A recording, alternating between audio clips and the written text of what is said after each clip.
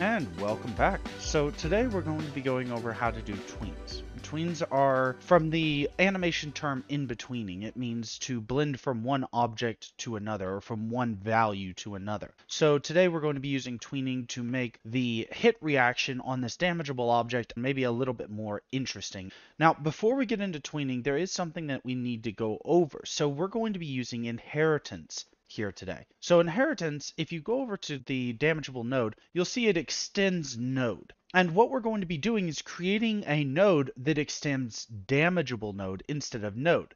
And this carries along all of the functions and all of the methods that are within those nodes, and we'll do it in C Sharp and Godot script. And real quick, I'm just going to go over that in both of them before we get started with programming tweens. So real quick, we're going to go ahead and make our scripts, and we're going to call them damageable tweening nodes.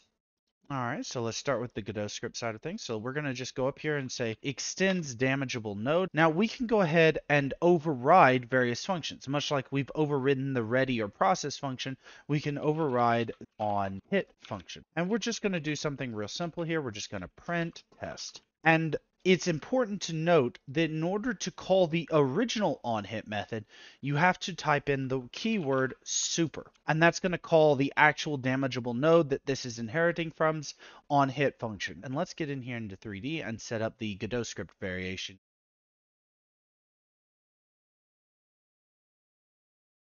So we've set them both up with the Godot script versions of the their respective scripts, but instead of damageable node, I've selected damageable tweening node and it should do the exact same thing as normal, but you can see it has the words test written in console. And that is basically executing this code and then go uh, going and executing damageable nodes on hit. Now let's do the same thing for C sharp real quick. So what we're going to do is we're going to go right up here to where it says node and we're going to say damageable node. And you'll notice if we go over to damageable node, I've added the keyword virtual. Now, what virtual does in C Sharp, it's a little bit different than in Godot script. Not all functions are immediately available to the children of those nodes. They are only available if we type in the keyword virtual. So we can go right here and say public override, and we have the onHit function right there. And this is how you call the super, like in Godot script, but in C Sharp script. And we'll just say test C Sharp there and we'll hit build and let's go back to Godot and go ahead and implement the C sharp variation of the scripts.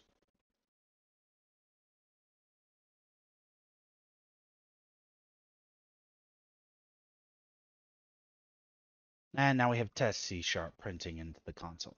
Now we can actually get started on the tweening side of things. Now, tweens are very powerful in Godot, and we're not going to go over all of the features. The documentation will be in the description, but there's a lot of different things you can do with them, and I have done much more complex things with them. Today, we're just going to make it bounce, rotate, and scale, and then return back to its normal shape. So we're going to go ahead and jump in script and get started with the position first, and then we'll do the rest.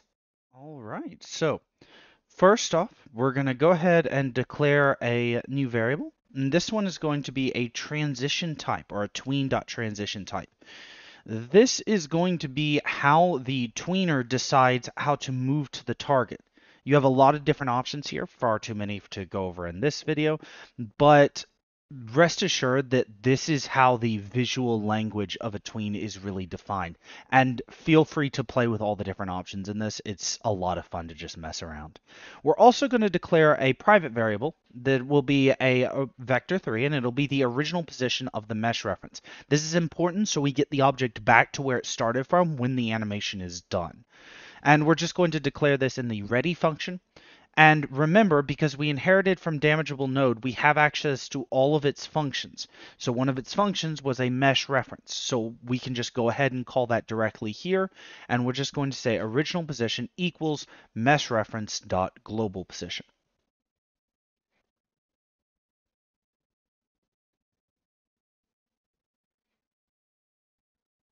And what we're going to do next is we're going to go ahead and we're going to create a new tween or a new variable in Godot script, and we're going to call the create tween function. This is available in any node-based object, and you cannot use the new tween or tween.new in Godot script to create a tween, or else it will not function. And then we're going to go ahead and call the set trans function, and that's and we're going to insert the transition type variable that we created. And finally, we're going to get to tweening something. So the way you tween things, you call various, you have tween property and tween method, and also a couple others, but we won't get into those. So we're going to call the tween property function. And this takes a couple of inputs. One, the first one, is what object you're calling this on. So it'll be the mesh reference reference. Then it's what variable you're calling it on via a string, which is the name of the variable. And this is the Godot script name. So it'll be global underscore position. This can be a bit tricky if you're used to C sharp, but a little bit of Googling can usually sort it out. Next, it's going to take whatever the end result is. So in this case, it'll be the original position and then adding a new vector 3 with 1 in the y. That it's just going to move it up 1 meter straight up and then it will take how long it will take to get there. So we're going to just use the flash duration, which is another variable from the damageable node, and we're going to divide it by 2. That way we spend half the time going up, and then we'll spend half the time coming back down. And next, we're just going to copy and paste that tween property, and we're going to make a new one for the return journey. And the return journey is a bit simpler. We're just moving it back to the original position. And last but not least, we're going to need to go ahead and call the new tween.play function. And this is going to kick off the tween.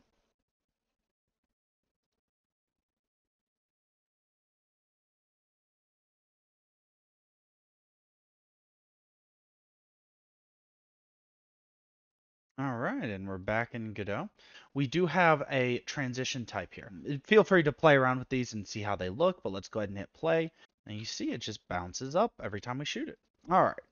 With this, we don't just have to go up and down. We can also do other interesting things. So we're going to jump back in script and we're going to add rotation and scale. All right, so what we're going to do is we're going to create a couple of variables here.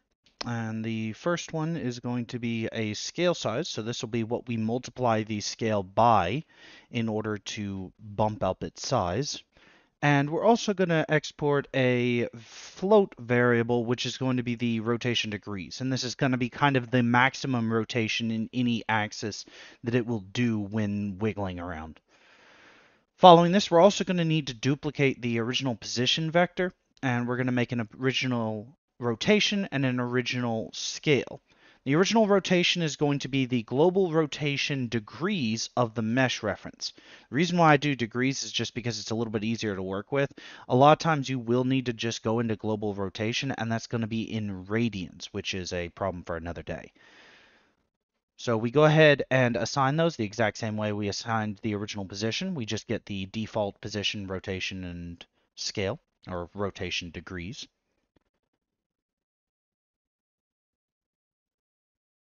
And following this, we're going to go ahead and first off, we're going to create a little divider. And this is just going to be a comment on both of them. This is going to help define the upswing and the downswing of the animation. So the top part is it going up and expanding, and then the bottom part is it coming back to its original position. Now, we're going to use the new tween.parallel function here. And what this is going to do is take the previous tween and the next tween, and it's going to make them both run at the same time. And the next tween in this case is going to be the global rotation degrees. And what we're going to do is we're going to go ahead and get the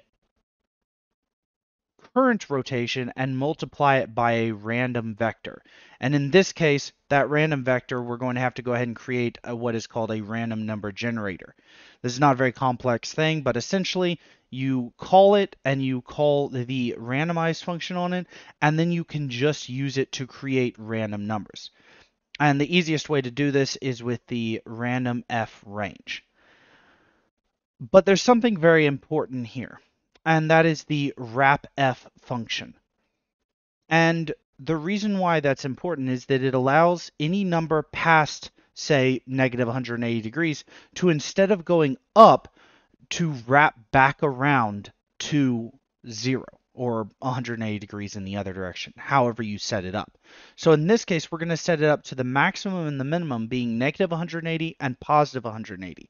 If you don't do this, your animations will warp oddly when adding or subtracting ranges from them you end up with this jagged look to it.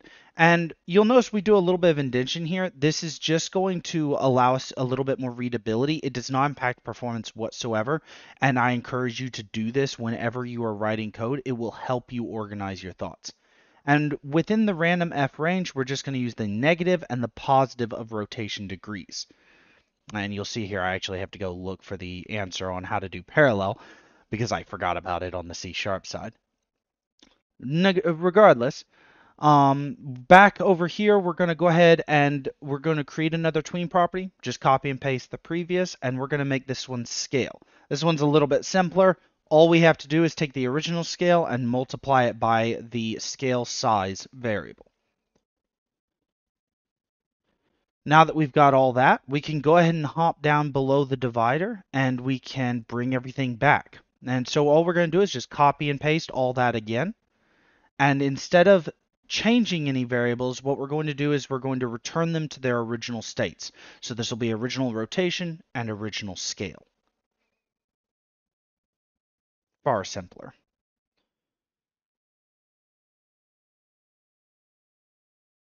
All right, we're back in Godot, and we have a couple new variables here. So let's go ahead and enter in functional numbers for those, and let's hit rotation degrees to about uh, 10.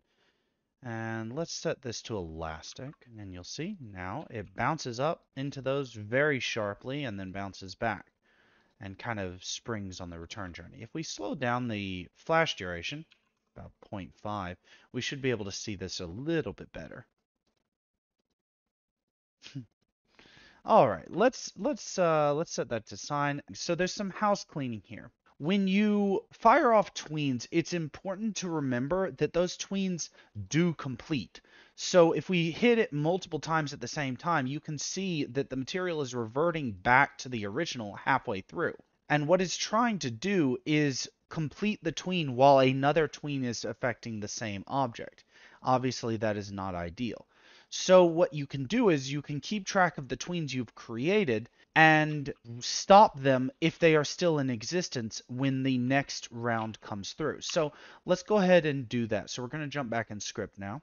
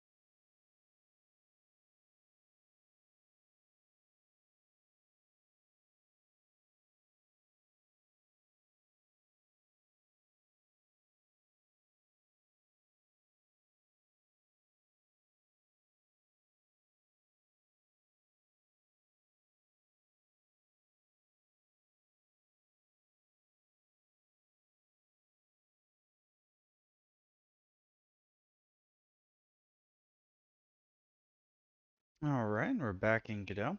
And now that should resolve our issues with the flashing turning off at the wrong time. Now, mind you, the tween is based off of its current position when you hit it. So you can shoot the object up into the air a little bit here. And that is not half bad. A little bit shorter time results in a bit more bouncy, arcadey feel. For now, this will be all we do with tweens. Next week, I'm not sure what I'm going to do. I may end up working with audio as that is something that I have not touched. So I think that next week we'll work on getting a impact effect and a blaster effect, and we'll tie those into code and get them calling. I also wanted to let you all know that I'm currently working on a personal project. I've been working on it for about a month now, or a little bit more than a month, and I'm very excited with the progress. I'm very excited to show it to all of you. I will be showing it off in the near future. It's not quite ready yet, but I will show it off before I go on my trip in March. And for everyone new around here, thank you all for coming around and sticking around and listening to my videos. And regardless, I hope all of you have a wonderful day.